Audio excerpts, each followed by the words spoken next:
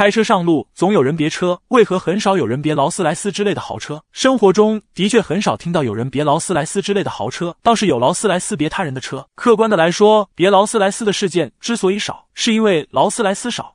但是我们也不能忽略一点，一旦别劳斯莱斯发生事故，往往都是爆炸性新闻，而这样的新闻特少，基本没有。这是为什么呢？别人之所以不敢别劳斯莱斯之类的豪车，那是因为有敬畏之心。此话怎讲？开车上路，天天遇到十字路口，有些路口红绿灯时间特别长，好不容易绿灯了，您发现前面的车没动静。假如前面的车是夏利，此时此刻您会怎么办？大部分的人会按喇叭，连续按喇叭。如果对方动作比较慢，您可能还会伸出头来几句很不友好的话。此时此刻。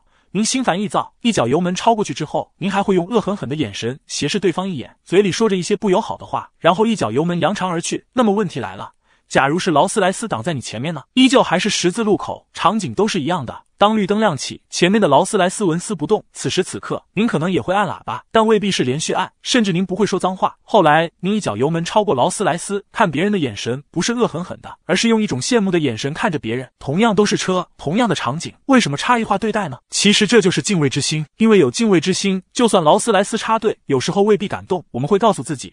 这可是非富即贵的主，万一碰了，我可惹不起。就算百分之十的责任也够我喝一壶的。算了，退一步海阔天空，让他。这就是人性。